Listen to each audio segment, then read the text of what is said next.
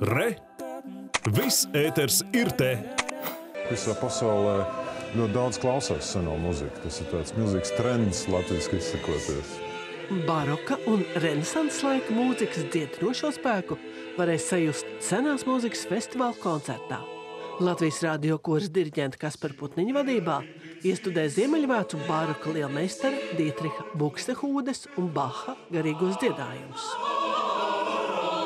Šī mūzika ir par harmoniju, par balansu, par, par, par dzīves, no tādu dzīves un dzīvības tādu uzvarošo skaistumu, neskatoties ne uz ko.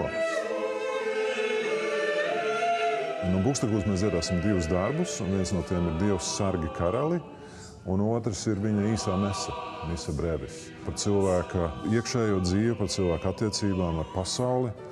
Buksehūda bija jaunā Johana Sebastiana Baha galvenais iedvesmotājs un pamudinātājs.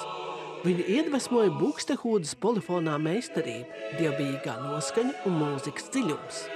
Tad, kad Baham bija 20 gadiņi, un viņš bija dabūjis sev pirmo profesionālo darba vietu Vācijas vidienē, es neatceros, kā sauc to pilsētu, viņš uh, paņēma atvaļinājumu un ar kājām devās 400 km uz Hamburgu, lai kļūtu par Buksehūdas skolnieku. Viņš ir ļoti, ļoti ietekmējies no Buksehūdas mūzikas un, un arī ērģeļu spēles.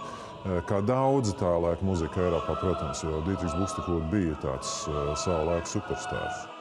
Svētā Jāņa baznīcā spēlēs arī izcilais franču ērģelnieks Fredijs Elša Beržē, ar kuru diriģents Kaspars Putniņš iepazinās jau 80. gados, kad vēl studēja mūzikas akadēmijā. Kad toreiz pieredzētās meistarklases senās mūzikas izzināšanā deva milzu iedvesmu. Tanī laikā mums bija ļoti maz informācijas par to, ko sauc par vēsturiski informēto senās muzikas interpretāciju. Tā bija tāda absolūti jauna lieta. Mēs bijām dabūjuši savus pirmos tādu veidu ierakstus, John Elliot Gardner ierakstus un tam līdzīgi, kurus mēs drillējām dienām ilgi. Un, un, un tā, bet mums nebija bijusi nekad dzīve saikne šiem muziķiem. Tajā radīšanas procesā ir arī tas, tas pazemīguma elements, ka tie, kas to ir radījuši, saprot, ka viņiem nav visas pareizās atbildes uz jautājumiem. Johans Sebastiana Baha, Dietriha Buksehūdes un Johana Gotfrīda Valtera renesanses un baroka laika mūzika izskanēs 8. jūlijā vakarā Svētā Jāņa baznīcā, senās mūzikas festivāla ietvaros. Ilza Strenga, Inns Ivans, Latvijas televīzija.